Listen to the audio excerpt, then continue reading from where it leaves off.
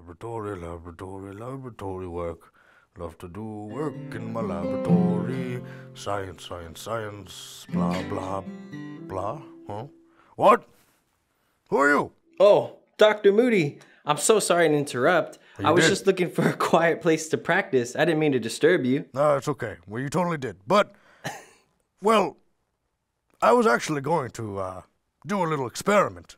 But I seem to have lost my lab assistant. Again. Well, I can replace them with you. I would be honored. I'm a big fan. Well, it's nice to meet you, little boy. I'm Nick. Nice to meet you, Nicholas. Well, this is the part where I usually say hello, boys and girls, and all of that. Um, Trevor, roll opening cue. All right, rolling in three, two.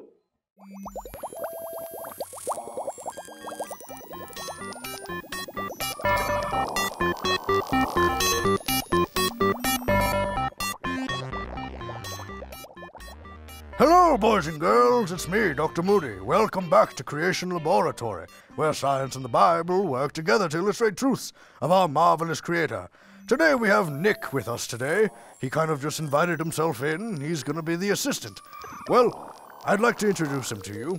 He is the worship leader here at Calvary Chapel Golden Springs. Say hello, Nick. Hi, everybody. Well, we have a very, very interesting lesson today. So, why don't we get started? Nick, please tell the children at home what they'll need for the experiment today. Absolutely. You will need one candle, one lighter, an empty balloon, a balloon full of water, oven mitts, and safety goggles.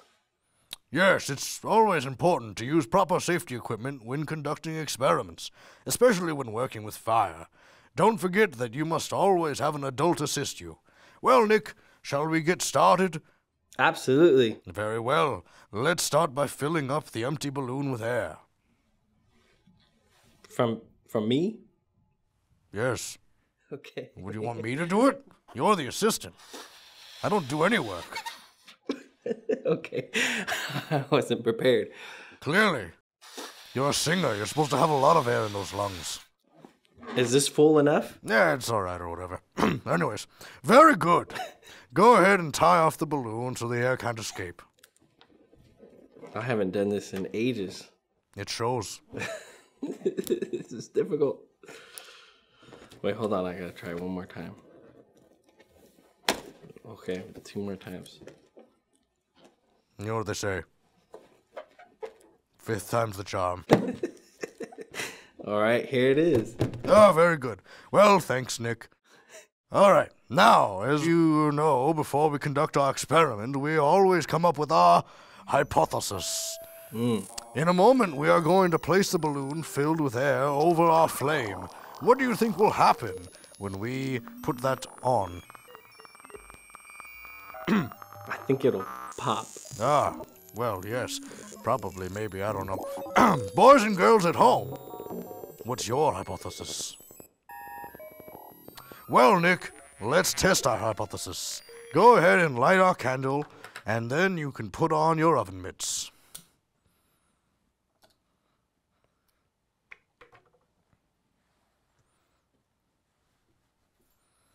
Take your time. You know, I do all the baking at home. Ah,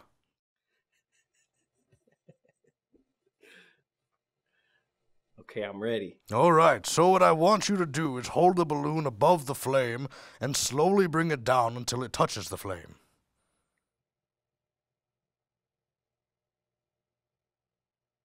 Ah, yes! Wonderful! No surprise there. The balloon popped as soon as it got near the flame, didn't it?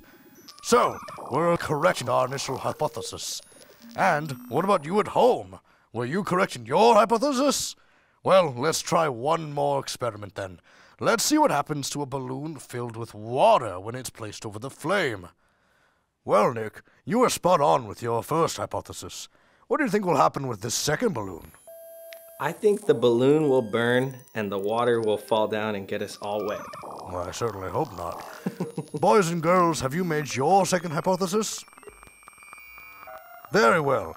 Let's see if we're correct. If your candle went out after the first experiment, now's the time to relight it.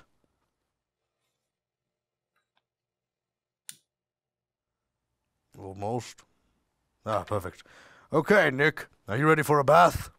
I'm ready. All right, well, let's see what happens. Go ahead and hold the balloon over the flame just like you did in the last experiment. Closer. Closer. Closer. Steady. It's touching. Would you look at that? The balloon did not break. Remarkable. Nick, you can stop now. Okay. Well, this reminds me of a passage of scripture found in the book of Isaiah. God speaks through the prophet of the nation of Israel, and in chapter 43, verse 2, he tells them, When you pass through the waters, I will be with you, and through the rivers, they shall not overflow you. When you walk through the fire, you will not be burned, nor shall the flame scorch you.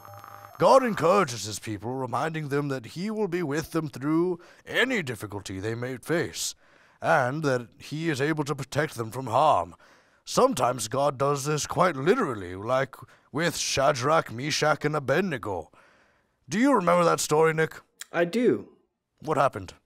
Shadrach, Meshach, and Abednego were asked to bow down to a god who wasn't the true and living God, and King Nebuchadnezzar got so angry that he decided to place them in his fiery furnace. Wow, and they all burned up?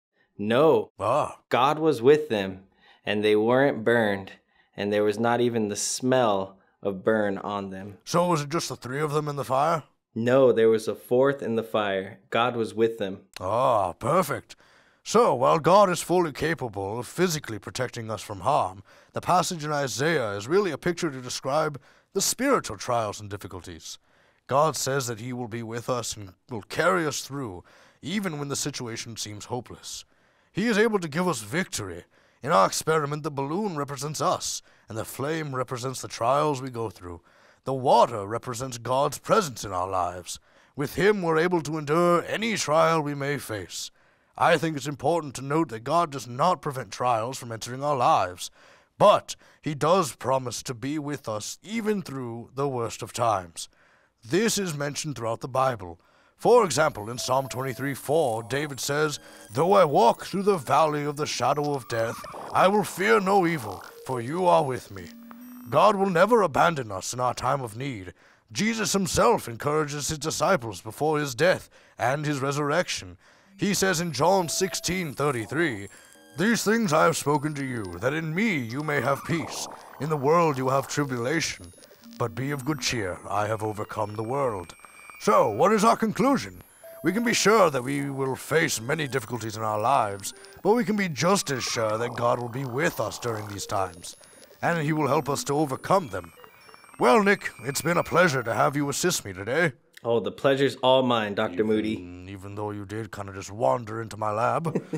well, and it's also been a great pleasure to have you with us, boys and girls. Don't forget to subscribe to our channel and be sure to send us your videos of you and a parent performing any of our experiments on Instagram, tagged at CCGS Kids. Until next time, goodbye. Bye. Oh no.